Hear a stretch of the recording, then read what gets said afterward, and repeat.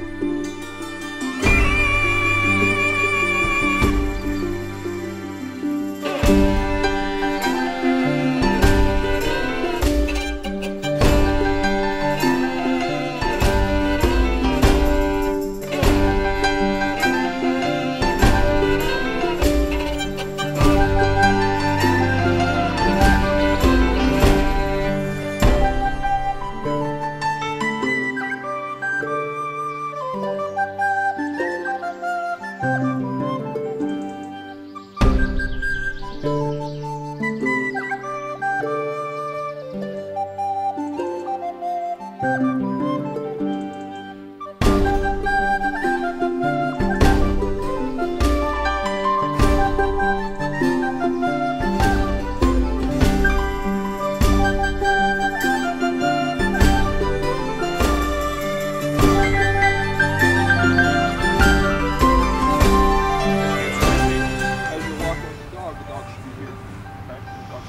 you. You shouldn't have tension in the line. You should be able to remotely keep the dog with you While I'm backing up. while you're backing up. Everything's back backpedaling right now. Okay? Okay. As you're walking, if the dog, if this is the threshold here and the dog's head breaks this plane, you're gonna change directions. Come, going back the other way. Or in this case, you're just gonna press the button to keep the dog with you. Because really, I mean, you could tell the dog come to this point, but you don't really need to. You know, all you're trying to do is teach the dog remotely to be able to keep the dog with you. Okay. So that's gonna be the third thing. Okay. Then what you're gonna do from there, you're gonna go back to a step behind. The collar. No, you have to think about it. You don't. Now.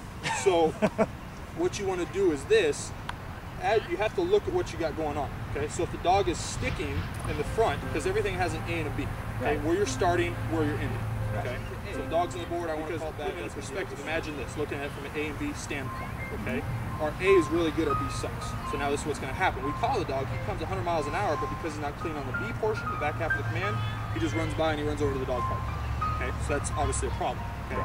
Now, if we reverse it, our A is not good, but if he ever gets to the B, it's it's clean. Boom, he comes in perfect square, Right.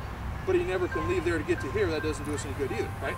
Right. So we need attention on both sides. The whole system is based on clarity and understanding. What we want